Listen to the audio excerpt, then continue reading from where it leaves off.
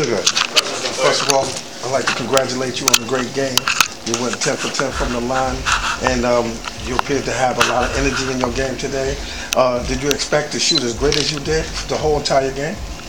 I expect to shoot great every night. That's I right. don't think no less. I don't think no less of myself. So, yeah. What contributed to such a huge performance tonight? defending, rebound, sharing the ball, and just having fun. Um, I just want to, she's being real modest. I just want you guys to know, um, Sugar's in the gym 24-7. We have practice. She comes back there that night. She gets Teresa Weatherspoon to help her work out. You know, she never let up. She's never complacent. She just wants to keep getting better. Um, I played against her in the Big East when she was in Georgetown. I was at UConn, and I knew she was very special.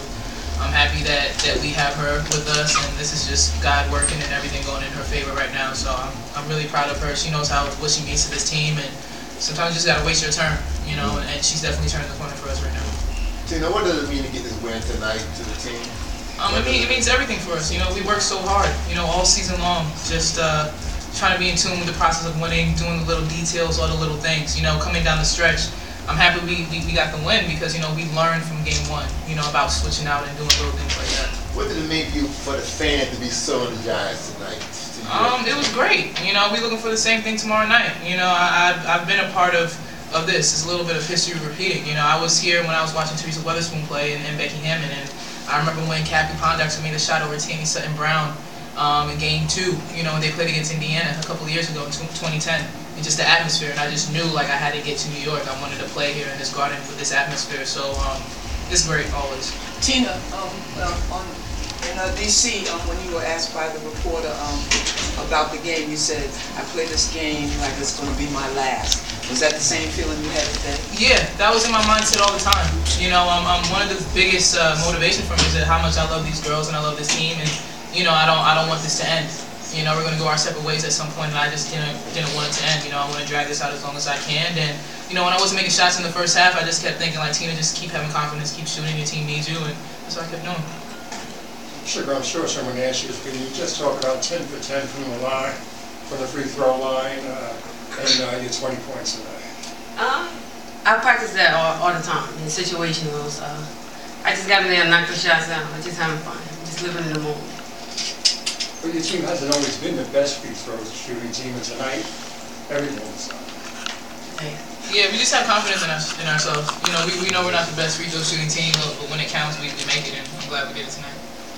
Tina, Sugar, you know, to see the game clinched on a defensive play and, and one from Kiah like that, do you think there's something symbolic almost about, you know, the identity of your entire team and, you know, the way you guys have thrived defensively all season? Yeah, it's just all about responding. You know, when we come into halftime, you know, Tanisha and Swin are always talking to us about little things that we have to clean up and what to do. And you know what, what Kiah was able to do, she just responded. You know, sometimes you have to grow up fast. You know, we never knew that we wouldn't have Carolyn Swords. You know, it's unfortunate, but it forced Avery to have to step in and be a part of the moment. You know, it forced Kiah to, you know, she can't hold her head. You know, nobody else is going to do it for her. You know, she, she's a pro now, so, so I'm happy for her and just the rest of this team. Everybody's just responding at the right time. Sure. You, you got, you got an important game tomorrow, but had you not won uh, this game in advance, would you consider this like a, a lost season because there's so much on the line? Uh, or would you consider the, the season sort of lost? Uh, had you not won, had you not advanced? Um, I wouldn't see it as a loss. Definitely disappointing because you know we worked so hard, we scouted so well and everything. But other than that, it wouldn't have been a loss. You know, we all gained new friendships, we all gained maturity as a person and as a player. But you know, we didn't lose, so I don't want to talk too much about it. so how, how, how, do you feel, how important is it to, to advance and to play tomorrow here, here in New York, in the Garden? It- It's great. You know, it's bittersweet. You know, you know, personally for me, I just played 40 minutes, but you know, being born and raised in New York, um, nothing is easy. Nothing really goes your way. You know, so of course this isn't, you know, surprise to me that we have to play tomorrow. It's New York. Things like this happens, and you just gotta respond. Playing the 40 minutes today, does a rest factor bother you at all? You think about it? No, my adrenaline's gonna be going. You know, in, in 2012, Indiana took it away from me. You know, wanted to advance, so my adrenaline's gonna be going um, just for the game. I'm sure. Sugar, what was it like having the entire garden support behind you, and how did that motivate you to keep going? Say that again. How what was it like to have the entire fan base behind you and really cheering you guys on? Like, how did that help you guys towards? Um, it feels through? good that the, the fans come out and support us. Uh, like I said, I'm just living in the moment. I'm just enjoying the ride.